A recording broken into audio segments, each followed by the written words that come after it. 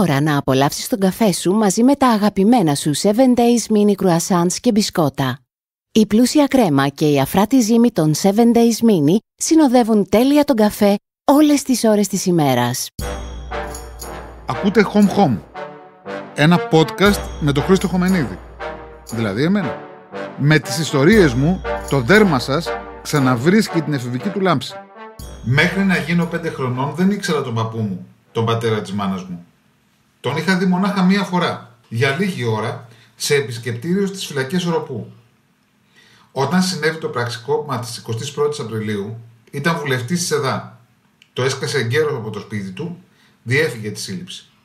Κρυβόταν. Τον έπιασαν κάποιους μήνες αργότερα στις γραμμές του τρένου, στις τρεις γέφυρες, σε ένα συνωμοτικό ραντεβού το οποίο είχε προφανώς καρφωθεί.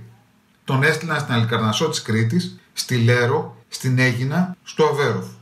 Από τη φυλακή μου ταχυδρομούς τετράδια που τα γέμιζε με παραμύθια, με αδέξια σκίτσα και με παιδικά ποίηματα. Οι πολιτικοί κρατούμενοι, όσοι τουλάχιστον έπιανε το χέρι τους, επιδίδονταν με πάθος στην ξυλογλυπτική. Οι οικογένειές τους λάμβαναν δέματα με ξύλινα κομπολόγια, ξύλινους χαρτοκόπτες και πιόνια ακόμα και σκακέρες σκαλισμένες στο χέρι. Στη βεράντα του πατρικού μου θυμάμαι ένα μεγάλο ξύλινο κανόνι. Γύρω από τις ρόδες του παρέτασα τα πλαστικά μου στρατιωτάκια. Το 1971 η Χούντα έδωσε αμνηστία. Εκατοντάδες κρατούμενοι επέστρεψαν στα σπίτια τους. Ο παππούς γύρισε στη Νέα Σμύρνη και άρχισε να μας επισκέπτεται στην Κυψέλη καθημερινά. Για μένα ερχόταν. Η συναναστροφή του με ένα αγοράκι που ήταν αίμα από το αίμα του αποτελούσε μία από τις μεγαλύτερες χαρές του σε εκείνη την κατάσταση της προσχηματικής ελευθερίας. Θα περίμενε κανείς από έναν τέτοιον άνθρωπο να καταιγήσει το μικρό εγγονό του με αφηγήσεις ηρωικές. Από τις εργατικές κινητοποιήσεις του Μεσοπολέμου και την εθνική αντίσταση, από τις παράτολμες αποδράσεις και από τα χρόνια της βαθιάς παρανομίας. Να επιδιώξει να του διαμορφώσει εξαπαλώνων ήχων αγωνιστικό φρόνημα. Μόνο αυτό δεν έκανε ο παππούς μου. Ο λόγος του δεν είχε τίποτα το ηθικοπλαστικό.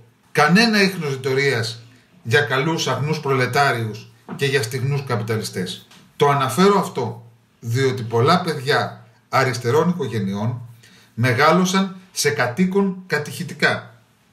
Τα έβαζαν από νήπια να συλλαβίζουν αντάρτικα στίχους του Βάρναλη και του Ρίτσου. Ο δικός μου ο παππούς μου μιλούσε για τσακαλοπαρέες, κολύμπια και ψαρέματα στο χωριό του στη Μικρά Ασία, για την ευβία του στην Κωνσταντινούπολη, τον καιρό που σκαρφάλωνε σε αγγλικά πολεμικά πλοία και πουλούσε στους ναύτες τσατσάρες και τράπουλες. Μου μετέφερε εξωτικές εικόνες από την Αίγυπτο, όπου είχε καταφύγει το 1943. Μέσα στην άψη του πολέμου, μια φορά όλοι και όλοι είχε αξιωθεί να επισκεφτεί τις πυραμίδες και τη Σφίγγα. Τη μοναδική του εκείνη εκδρομή τη διηγούνταν τόσο γλαφυρά, τόσο δελεαστικά, ώστε έκλεινα τα μάτια και έβλεπα τον ήλιο να κυλάει τις καμήλες να προχωρούν με αργά λυκνιστικά βήματα στις όχθες του, τους φελάχους να λένε μακρόσυρτα τραγούδια και να καπνίζουν αργιλέ με άρωμα μήλου. Εκείνος ωστόσο που με ενθουσίαζε περισσότερο ήταν τα απλά μαθήματα αστρονομίας που μου παρέδιδε ο παππούς. Έπαιρνε ένα πεπονάκι και το ονόμαζε ήλιο. Ένα ροδάκινο, αυτή είναι η γη μου ανακοίνωνε. Και ένα καρύδι, να και η σελήνη. Τα ακουμπούσε στο τραπέζι. Η γη γυρνάει γύρω από τον ήλιο και η σελήνη γύρω από τη γη. Έτσι έχουμε τη μέρα και τη νύχτα, το μισοφέγγαρο και την πανσέλινο, τις εποχές του χρόνου. Δεν ξέρω τι με συνάρπαζε τόσο. Η αποκρυπτογράφηση μάλλον του σύμπαντος κόσμου, ο οποίος ερχόταν ως εκθαύματος στα μέτρα μου.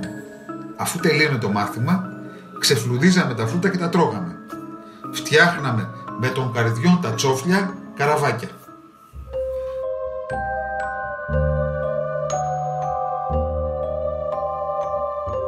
Κανένα χρόνο αργότερα, τελείωνα πια την πρώτη δημοτικού, μπήκε στην κάμαρά μου φορτωμένος βιβλία.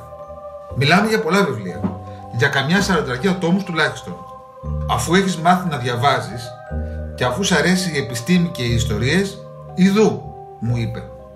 Τα άπαντα του Ιουλίου Βέρμου, όσα τουλάχιστον βρήκα στα ελληνικά. Δεν είχα ιδέα βέβαια ποιος ήταν ο Ιούλιος Βέρμου.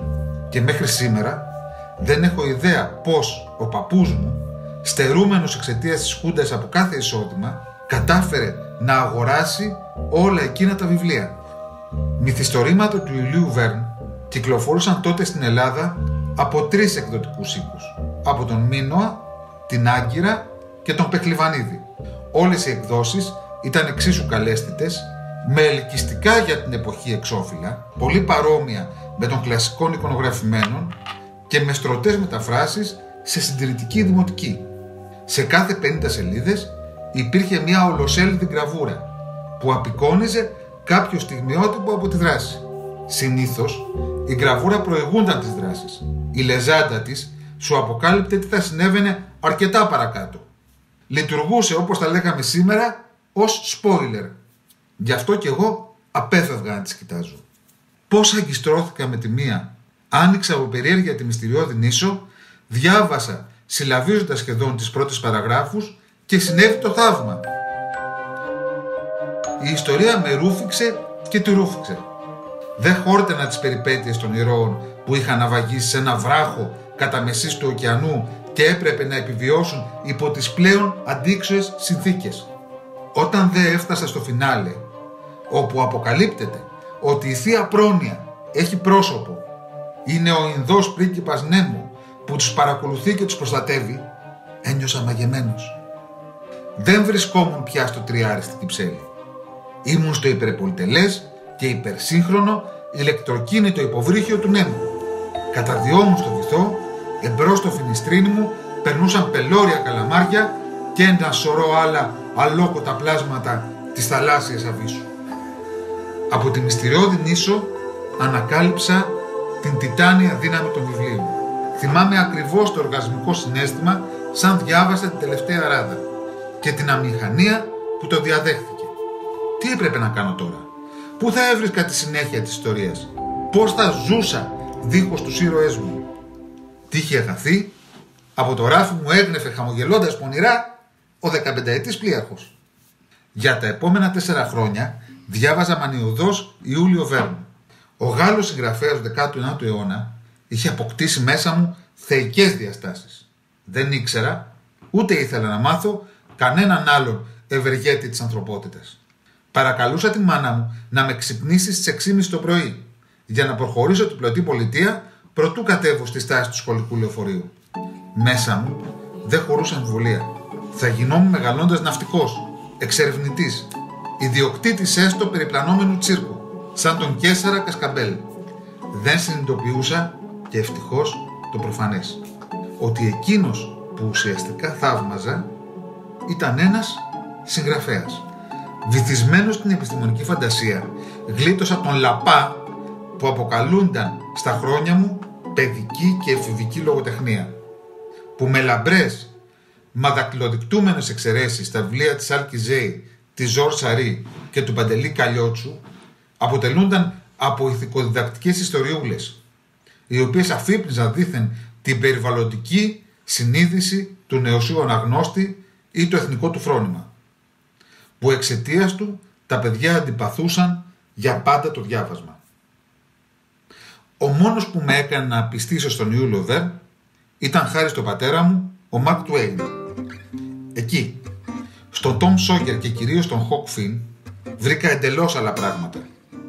Βρήκα το μποέμικο πνεύμα, την αλητία της περιπλάνησης, τη γοητεία του ημίκοσμου, ενίοτε και του υπόκοσμου.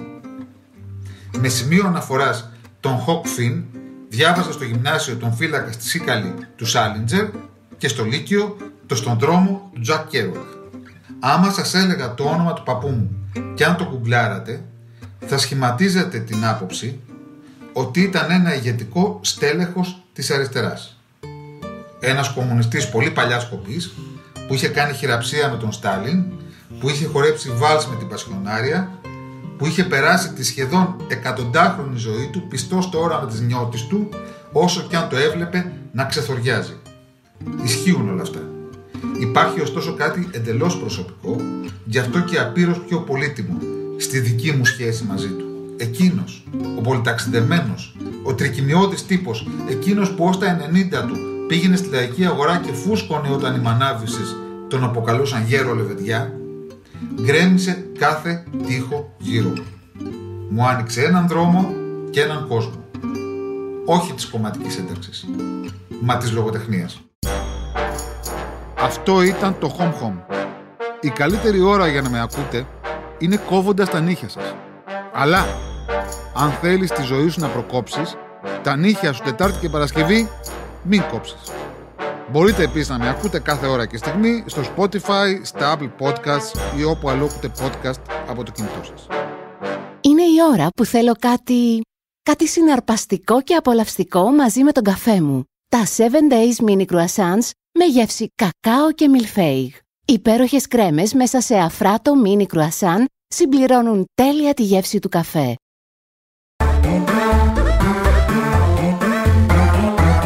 Pod.gr. Το καλό να ακούγεται.